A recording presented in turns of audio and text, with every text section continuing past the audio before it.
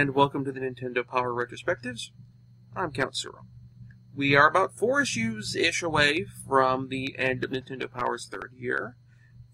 Um, as we get started with with Nintendo Power number 21 for February of 1991. Let's get started. Our cover game for this issue is Star Tropics. The cover is a collage instead of the usual dioramas, and I think it looks great. The piano keys on the bottom of the picture seem a little out of place, particularly since I don't recall any puzzles involving piano keys in the game.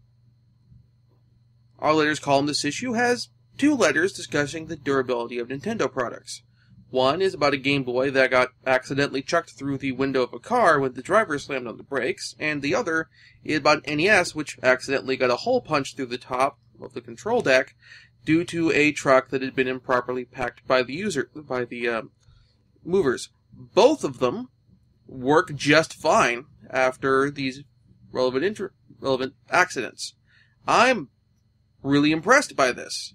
It's kind of impressive generally by how the game the that's not just the Game Boy hardware, but the Nintendo hardware in general basically seems to pretty much keep a licking, take a licking, and keep on ticking more or less. We people who've owned original NES, the uh, control deck front loader units, know that the contacts do run into a lot of problems later on. But anywho, we'll we'll get into that when they do the uh, new top loader in a few in magazine years. Our first game of the issue is Teenage Mutant Ninja Turtles 2, the arcade game, which in case you couldn't guess, is a port of the Teenage Mutant Ninja Turtles arcade game, which was basically rocking arcades until arcades started seriously dying. Like, really, when I was in, um, like, fourth or fifth grade, I went to a Chuck E. A birthday party to Chuck E. Cheese, and they still had a TMNT four-player arcade machine there. I think this was back when think, um, this would have been about three or four years after this issue came out. Um, anyway, we get a rundown of the characters and their moves, along with maps of most of the game, if not all. The maps are rather interesting, as unlike some of the brawlers we've reviewed previously, we get information on where enemies spawn in the level and how many of them spawn. We also get some information on how many HP each type of enemy and the bosses have. This is particularly important because the number of sort of generic mooks that spawn and the amount of hit points that bosses have appears to increase by about one and two thirds if you're playing the game two player. Fortunately, if this is causing problems for you, the article also gives you a code for 10 lives, and if you pull that off, it should make up for the increased difficulty somewhat. Now, TMNT2 is really the next step in the evolution of the brawler. Adding a designated jump button and special moves, which I found a little difficult to pull off, but some people don't have this problem, um, takes things a little closer to the brawlers of the 16-bit generation, like Final Fight, Golden Axe, and Streets of Rage. In particular, not just the designated jump button, but also the way the sort of level layout is done, where it's got a sort of pro sort of slope, visual slope to it to give a sense of depth that's not quite as dramatic as the visual slope that we see in games like, for example, Renegade. So it's a narrow, it's a, it's described as a narrower strip than Runaway, than um, Renegade's sort of basketball court or what have you. Um, but it has more depth to it than, say, Double Dragon did. Um, that said, this game is not without its problems. I'm not a fan of how the game is set up to be more difficult if you're playing the game in two player. Mainly because one of the advantages of playing the, the game two player is, for example, a more productive player or more skilled player can carry someone who's less experienced with the game. So that way, if you go to your friend and say, "Hey, I just got tier TMNT2," I've been playing it for a while, it's great, we should play it together, you're not penalized by bringing your inexperienced friend in. Um, now, it'd be one thing if the if there was an optional setting to have extra enemies and extra hit points, so a sort of hardcore mo- mode, two-player hardcore mode or something like that. Um, but it's not.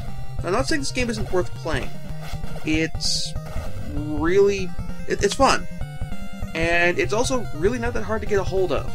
Um, you could probably at any um, independent video game store that sells NES games find a copy of this for about five bucks ish, depending on your region. Um, and at that price, and with the quality of the game, there's no reason not to pick this game up. However, it's also one of those games where if you have difficulty entering that 10 lives code in consistently, it might be worth playing with, say, oh, a Game Genie and using a equivalent code on that. Next up is Howard and Nestor, and in this issue, um, our merry band is playing Mega Man 3, and they end up facing robot duplicates of Mega Man or uh, Nestor. I'll note that Nestor, at least, is has, has fallen for Dr. Wily's line, so somebody, albeit a fictional character who isn't part of the Mega Man universe, did does fall for the whole "Oh, Dr. Wily's reformed. Oh, it's not Wiley, it's someone else" shtick. Next up is the cyberpunk action game, or semi-cyberpunk action game, Quantum Fighter Kabuki, or Kabuki Quantum Fighter. Get information on the weapons you get over the course of the game, with one new weapon per level. There's also maps through about level 5 of the game. Now, Quantum Fighter Kabuki, or the other way around, depending on who you ask, is a pretty interesting game. The player controls a U.S. military officer who goes into a computer system to fight to fight off an AI virus that is threatening to take control of America's nuclear arsenal. However, the avatar the officer takes when he enters the system is that of a kabuki performer. The controls of the game are very good. Jumping is responsive, and depending on how long you hold the jump button, you get different lengths of jumps, like with Super Mario Bros. However, like Mega Man, your jump is not floaty, it's fairly fast and very responsive. And so once you figure out how far holding down the jump button will get you, through a little basic experimentation, you can get some very precise jumps. Great. Game weapons are also interesting. Uh, aside from your basic atta- attack, which is the hair whip, um, you also get various weapon upgrades which are powered by chips as you go through the game, starting off with a single basic blaster and moving on to a advanced blaster and then a spread shot and so forth and so on as we go through the game. This means that rather than having you picking up power ups and having to hold on to the one power up that works best for you throughout the whole game, you get a variety of options and your basically your weapon tool set improves as you make your way through the game. Uh, sort of like guess that's a form of difficulty, for lack of a better term, um, bal- balancing or what have you, where the game gets harder, but your weapons will always be getting better as the game gets harder. Um, this is definitely one of those games where when I was reading Nintendo Power back in the day at the at my local library, I'd heard about this game, but I didn't hear anyone talking about this game outside of like Nintendo Power. I didn't have my friends at school talking about it. I generally don't see many um, reviewers talking about it, at least not the big name ones. I mean, they may have done reviews of it back in the day, but it's not something that gets constant discussion or that sort of thing. Um, and looking on eBay, just a cartridge of this runs about 10 bucks, which is a pretty good price for um, a game of this caliber. I'd say it's definitely worth checking out. Our classified information column this issue is kind of combining the Game Boy and the NES coverage here, where we have one Game Boy game making its way in here. Um, Teenage Mutant Ninja Turtles Fall of the Foot Clan um, for the Game Boy has some tips about how to get the various bonus stages. Additionally, we have also some tips for the Immortal in the form of information how to find an interesting Easter egg that also help you get through some enemies. If you um, get a pot of coffee on level 5 of the dungeon. You can take it to some programmers, yes, programmers, on level 6 who will give you an item that will take out basically two trolls for you in more or less the next room. I find it kind of a nice little Easter egg, and I'm glad that they're sort of calling it out here. I, I kind of enjoyed it a little bit when a game kind of breaks the fourth wall in a few way in some way, ways. Next is Star Tropics, Nintendo of Amer- Nintendo's sort of U.S. exclusive game. Um, it's a, for lack of a better description, Zelda-style adventure game. It's more linear than Zelda is, um, with set areas and really only one dungeon per per area. So it's less a matter of um, exploring the, the world and trying to figure out which order you're kind of supposed to do the dungeons in, and more just finding the dungeon on each level and then clearing it. Um, we get information on the first two dungeons of the game and the over- associated overworld areas, and later in the issue, we basically get informed that next issue we'll be getting like about the next four or five dungeons. So I'm going to hold off on reviewing this game until then. That said, I am a little annoyed by the fact that the editors made this game the featured title in this issue of the magazine and then saved the lion's share of the content for next issue. I mean, it's your cover game. It should be your more heavily featured game. Gremlins 2 has now also gotten an adaptation for the Game Boy. This time, instead of being a somewhat top-down shooter platformer, it's now just a plat- platformer of the side-scrolling variety. We have maps of the first th- first two stages of the game, with a particular focus on giving the reader a very specific route through the level, which seems a little odd. Gremlins 2 has a lot has the problems that a lot of games of the side-scrolling platformer variety have when their main character's primary attack is melee. The main attack has no reach. The NES Gremlins game dealt with this problem by not giving Gizmo a melee attack at all. You had ranged attacks with basically unlimited ammo. Um, now, they kind of compensated with this by, when you hadn't upgraded your weapons yet, giving your attacks a limited range. Other games which have melee weapons or melee focused attacks have also kind of compensated for this and been successful in adapting this by giving the main character's attacks with some sort of reach, whether it's um, Simon Belmont's whip or the swords of characters like Leonardo from Ninja Turtles or Strider, Hiryu, or that sort of thing. Gizmo in this game has no reach. He's attacking with a pencil, and he has no reach with it at all. Um, and there's really no reason for that. I understand he's not a warrior, but he could kind of use it like a use the pencil like a spear, thrusting it forwards rather than kind of swinging it down like a bat, which assuming he's swinging with the pointy end doesn't make any sense. You don't bonk them with the pointy end, as anyone who's seen Game of Thrones would tell you. You stick them with the pointy end. Um, instead, it looks like he's swatting flies with a hat. Instead of a hat, it's a... I get a pencil. Um, additionally, while the game gives you some ranged attacks, you can't store them. You get one shot with them, and then you lose it. And you can't like hang on to that one shot for later. And in turn, the game is also really good at tossing enemies at you right after you get your ranged attack, so basically, you end up wasting it because ideally what you should be doing is saving the ranged attack for an enemy who can be more easily taken out with a ranged attack, like one of the other, um, I forget, uh, one of the other one of the gremlins, um, or Mogwai. But instead, what happens is, well, you end up wasting it on some stupid bat, then having to use your weak sauce melee weapon to take out the enemy, to the more difficult enemy.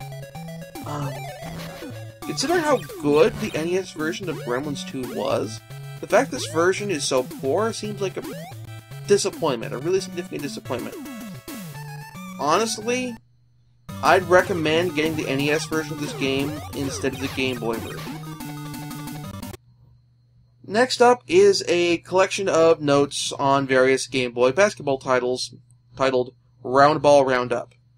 Considering that baseball and soccer, for that matter, bowling, tennis, all have round balls, I'd think those sports would get featured as well. As it is, we have two one-on-one basketball games featured here. LJN's All-Star Challenge and Jaleco's In Your Face, and then Konami's handheld port of Double Dribble 5 on 5, which is a port of the NES version. Now, I've already gone on record saying I don't like video game basketball games. And I dislike one-on-one basketball games even more because balancing the AI into something where it doesn't curb stomp you or alternatively isn't a cakewalk is something that either I guess is either too difficult for the programmers to pull off properly or something where the programmers didn't necessarily care enough to put in the work. Consequently, and this isn't something I don't do often, and I'll be doing it one more time this issue, I am skipping all of these. I'm just just give a straight up recommendation not to buy them. Also, we get a Game Boy specific classified information column, so those haven't been completely integrated yet. Um, we have a few tips here, just a smattering, nothing really catches my attention as anything notable. Next up is Magician for the NES, a sort of Zelda 2 styled RPG with a system where you craft your own spells using a rune system, and you get the formula by buying spell scrolls from stores. We get level maps and advice on how to get through the first few levels of the game. Now, if you want to know what it's like to play Magician, imagine playing a game in the Elder Scrolls series as a spellcaster, with a mod installed so that your character has hunger and thirst and you have to eat food and drink water to stay alive. Now imagine playing this hypothetical game in the Elder Scrolls series completely cold, never having played it before, not having a chance to experiment with the magic system or that sort of thing, and no real knowledge of the magic system from earlier games. Magician is kind of like that, except we're not in the first person, so the game is less immersive, and the magic isn't as broken in the player's favor as it is in, say, Morrowind or Oblivion. Additionally, the game has a sort of bizarre hard limit on the number of saves you can make per game, specifically 15. You can have multiple save, save slots, allowing for a certain degree of save scumming, but still the hard limit is an unnecessary game design decision for me. We're a magician a horror game like Resident Evil, set in a confined and claustrophobic place, like the mansion from the first Resident Evil game, I say the limits of, of the number of saves are kind of acceptable. It makes saving your game a resource you need to manage, like ammunition for your guns. However, this isn't a horror game, this is a fantasy RPG. Putting a limit on the number of saves, particularly for a game that can run as long as this one can, serves no purpose. Additionally, some of the spells seem weirdly kind of weak sauce in terms of it's difficult to tell what spell you're supposed to be using on what opponent, and also hard to tell when a spell is actually being effective. If you're going to play this game, either play it on an emulator or play it on the RetroN 5, as that game has save states, and that way you don't have to worry about the really stupid, arbitrary save system. Next is a more informative article with Nintendo Power talking about the magazine's game rating system.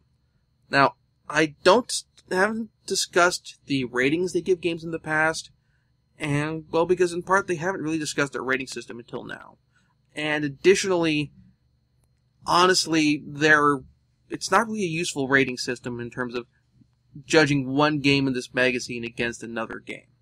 The I mean, any game that's going to get a really poor rating isn't going to get featured in the magazine.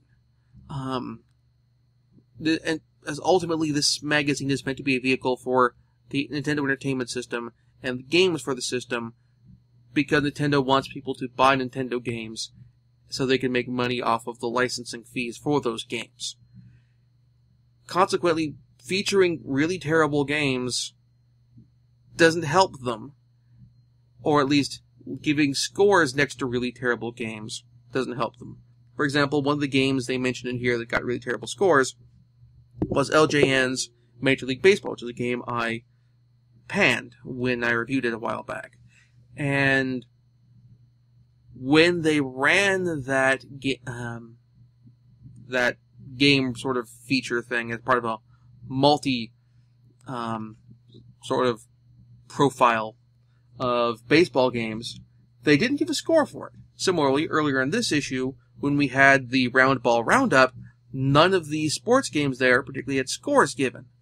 So, I mean, this is the kind of thing where if they don't like a game, they're not going to feature it in the magazine or not display its score.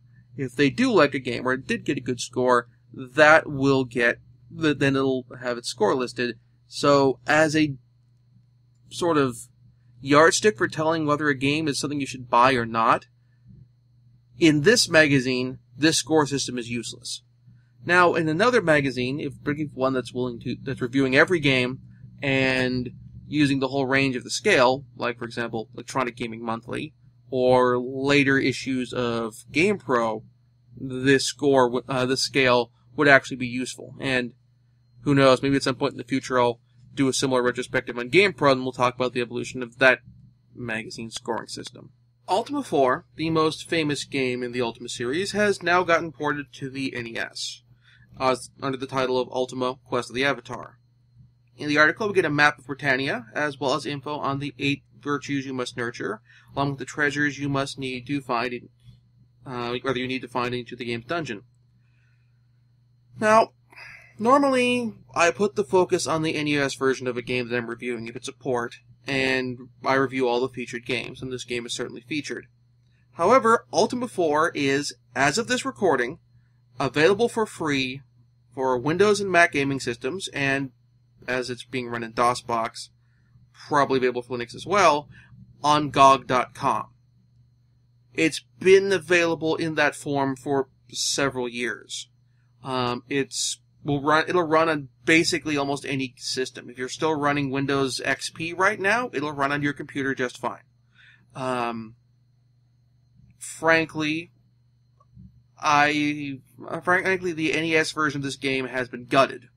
Um, it tries to do a lot of what the game, what the uh, PC version tried to do. However, it's a situation where just from the memory restrictions of the NES, combined with sort of the, the input problems you run into with the um, with dealing with the controller, um, and also Nintendo of America's own censorship policies. This game is not going. It's going to be a shadow of the of the PC version in a way that Ultima Exodus wasn't. Um, I compare this to trying to watch Kingdom of Heaven on broadcast television. They're going to show the theatrical cut because it's shorter and they have time constraints to deal with. They have other programming to show too. And they're going to cut down the movie to make it fit within the criteria for a PG or at best a PG 13 rating. Consequently, the amount of stuff cut from the original that for, for that release on broadcast television makes the film actually not worth the time that you'd spend sitting down and watching it on television.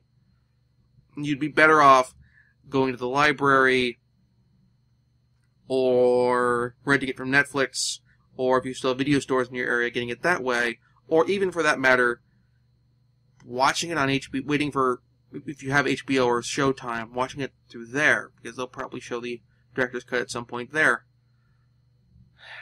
In the same sense, you can get this game in its original intended form legally for free. There is no reason not to get this game in that form.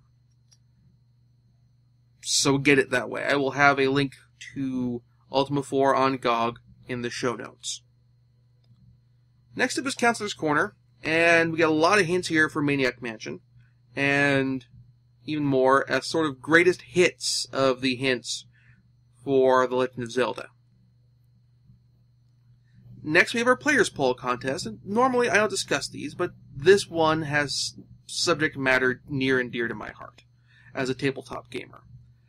So the winner of this issue's Players Poll contest gets a trip to Chicago and the Battletech Center and an opportunity to pilot one of the Battletech simulators in there. Even more, the second place winners get a copy of the Battletech game, along with several of the expansions, a novel, and an assortment of patches, presumably one for each of the houses of the Inner Sphere. This is really awesome! And I kind of want to go back in time and enter in the Players Poll contest so I can get to do this, because this is, of all of these contests they've run here, this is the one that I really want to do. Um, even more than their sort of Final Fantasy um, go on a quest contest thing. This is extraordinary. So we have the now playing column next, and Skate or Die is getting a winter themed spin off with Ski or Die. Now, while the game has snowboarding as one of the events, it's not exactly the focus of the game that skateboarding was with Skate or Die. Considering that we're getting into the uh, 90s, you'd think snowboarding would have more of the focus. I mean, by this point, we've already seen James Bond snowboard in A View to a Kill. So, next is our top 30, and I missed this column last issue, for which I apologize. And this issue, TMNT2 and Dr. Mario have entered the top 10. Next is our celebrity profile, and we have interviews this issue with two players from the LA Lakers. And I'm going to mangle his first name. Vlade Divac from what is now Serbia, and his teammate AC Green. Divac's career, since he has left the Lakers, has done quite well. He is currently president of the Serbian Olympic Committee. Um, while AC Green, not so much. Um, some while some googling reveals that he's from Portland and went to Benson, which is kind of cool. Um, he has, since his retirement from basketball, founded two multi-level marketing companies. One which sells financial planning services, and the other selling a pseudo-scientific cure for back pain. Wonderful. In Pak Watch, um, JVC is working on a Star Wars game with LucasArts. Hudson has a new Adventure Island game on the way, and Acclaim is putting out Double Dragon 3. Wrapping things up this issue, in the Super Famicom Showcase, we get a look at another title that's coming out for the Super Nintendo. The Super Nintendo version of Sim City. We also get a mention in the article that the NES version is on the way, but that game never got officially released. However, little research has shown that someone has found a prototype of the NES version, and I suspect that there's probably also a ROM dump out there of the file. So, I may have to hunt down the ROM, if it's available through an emulator site, and see if I can check it out at some point in the future. Maybe do a special um, end of the NES life sort of episode of the games that got featured in Nintendo Power, but which never actually came out. Something like that. This issue, we only have one game with two player, and I'm only really reviewing one Game Boy game, so we only have one pick this week. And so, I'm going to go with Kabuki Quantum Fighter, or Quantum Fighter Kabuki, whichever you prefer, for my pick of the issue. It's really a game that does everything I want in an action platformer. It has very good jumping controls. It has good attacks. Um, I like the sort of level by level wep- uh, weapon progression. And the power up system is nice, but how they do it here is interesting. Um, so that's kind of definitely my definitely what I'm going for. Um, as far as Star Tropics goes, again, that's to be reviewed next issue. Um, so it's going to be up for contention there. And so, look forward to that. Also, next issue, we're going to have a look at Metal Storm. If you enjoyed the show, please hit the like button and subscribe to the channel so next time one of these comes out, you'll get notified. Additionally, if you want to support the show uh, financially, uh, there's a link in the show notes to my Patreon page where you can donate. This will help me get shows out more regularly, and in turn, help me get um, better equipment. Also, there's a link up here as well Um, if you want to prefer to click that one, they both go to the same place. And to help me improve my recording equipment, help me get these videos out more regularly, and if you also enjoy watching my other shows outside of Nintendo Power Retrospective, you may opportunity to choose the topics and do other interesting bits. So, until next time, thank you very much for watching.